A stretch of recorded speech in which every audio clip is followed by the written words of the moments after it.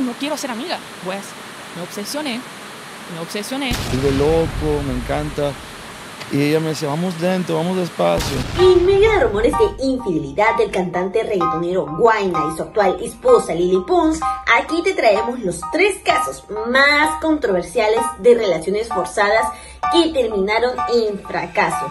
Pues sí, en algún momento habrás escuchado la frase, amiga, date cuenta. Pues estos famosos no se dieron cuenta de absolutamente nada hasta que los dejaron. Porque sí, esto le puede pasar a tu vecina, así como también a la mismísima Jennifer López. Si no te has enterado aún, Guaina y Lele Pons son esposos desde el 4 de marzo del 2023.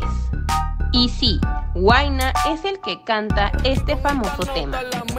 Y aunque haya sido olvidado desde que se casó con su esposa, sigue teniendo un fandom muy grande que lo respalda.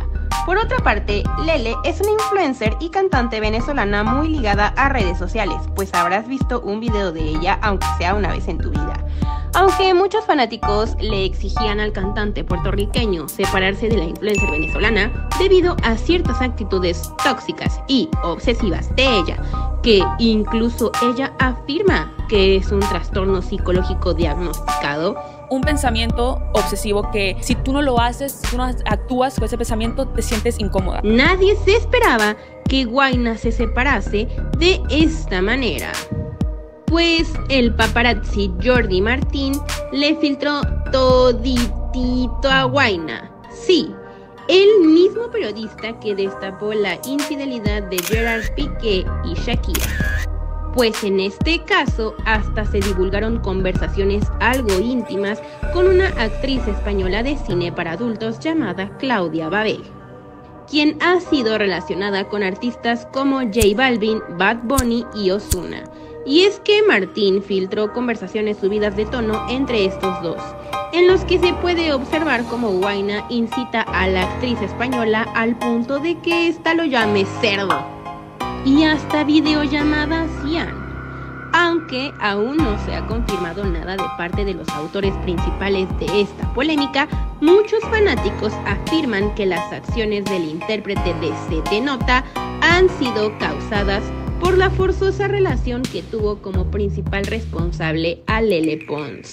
Así como lo oyes, Así como la ves en sus videos graciosos, la cantante e influencer venezolana ha hablado varias veces sobre un trastorno psicológico que puede llevarla a ser algo obsesiva.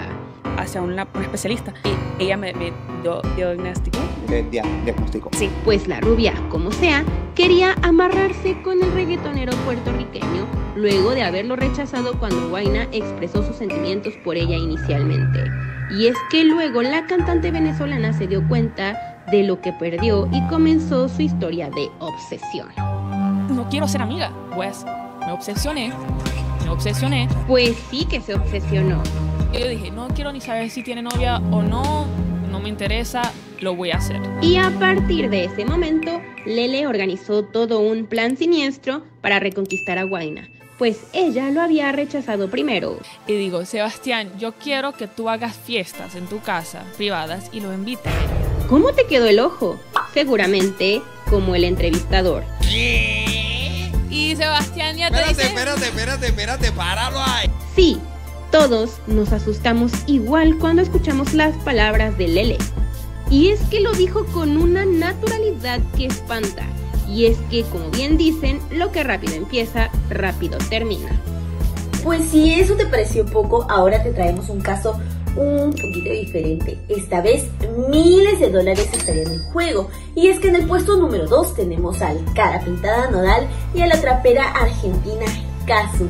Aquí se invertirán un poco los papeles porque era el hombre tatuado que estaba obsesionada por la Kazu e hizo de todo por conquistarla. Hasta se compró una casa para poder vivir con ella. Lo blanco es negro. y llego y me decía, por favor, tranquilo.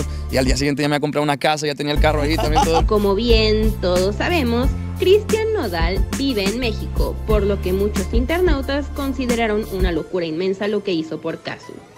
Y es que su relación fue recibida por el público inesperadamente, pues de la nada se conocieron en un evento de música a donde Nodal quedó impresionado con Julieta y la invitó a cantar con él.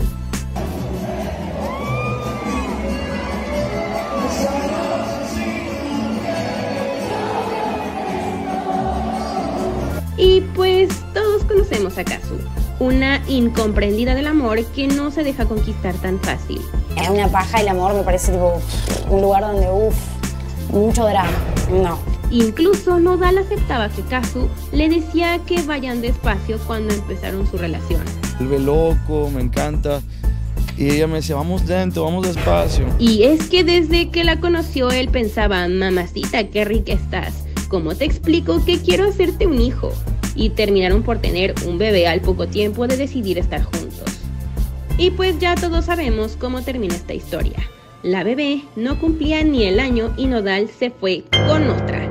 Sí, la que quería ser tía de esa pequeña bebé de 8 meses, Ángela Aguilar.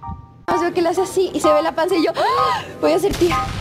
Y ahora es la madrastra, pues de tanta obsesión de Nodal hacia Kazu, le terminó por dar un bajón a ese amor infundado y apresurado, y terminó casándose con la pequeña de la dinastía Aguilar, quien se hizo pasar como la fan de su relación, tanto así que le bajó el novio a la modelo de la canción que Nodal creó para ella.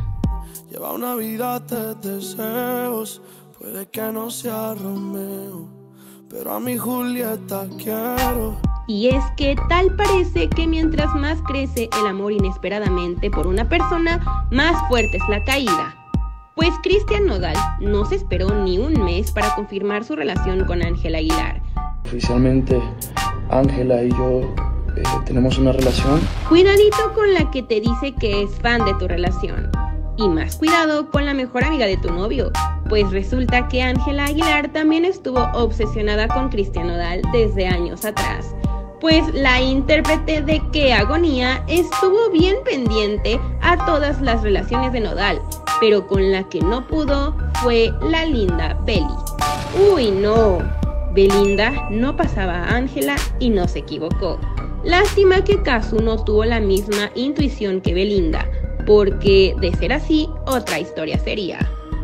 Nos falta nada más y nada menos que la rusa importada a México, Irina Baeva, actriz rusa que llegó a tierras mexicanas en el año 2012. Y claro que es otra joyita, pues es que Irina Baeva ni siquiera se molestó en ocultar la obsesión que tenía por Gabriel Soto, que en ese momento mantenía una relación de casado con Geraldine Bazán, actriz mexicana.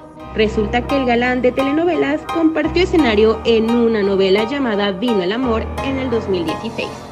Y las sospechas de Geraldine surgieron en la presentación de dicho evento, en donde sintió una presencia muy hostil y rastrera de la compañera de su ex esposo. Una actitud diferente, una actitud rara, cuando alguien no te mira los ojos, como mujeres intuimos. Muy cargada su conciencia como para mirarle a los ojos a la mujer de su galán. Y es que por si fuera poco, la intuición de la esposa de Soto en aquel entonces, Irina, no dejaba de mandarle indirectas vía Instagram. Todo o nada, decía en una publicación. Un secreto que llevamos en la sonrisa, publicaba la rubia en otra descripción. Y es que se le lanzaba bien fuerte al galán Soto. Y cuando Geraldine le preguntó a su ex marido si sucedía algo entre él y la actriz rusa en ese entonces, Soto contestó nada más y nada menos que... La respuesta en ese momento de mi ex marido fue, no va a volver a suceder. Así como lo oyes. El mensaje cifrado más evidente que le mandó Baeva a Geraldine fue cuando publicó una foto abrazando un grande conejo blanco. Te preguntarás, ¿Por qué? Pues luego de un tiempo, todos nos enteramos que Conejo Blanco es el apodo que la extranjera le dice a Soto, pero en su lengua rusa. ¿Cómo lo ves? Y es que en otro momento Baeva publicó una foto en su departamento donde estratégicamente se podía observar una almohada con la frase Vamos a quedarnos en casa y al costado la morral gris de Gabriel Soto. Las pruebas iban aumentando y el amor entre Soto y Bazán iban disminuyendo.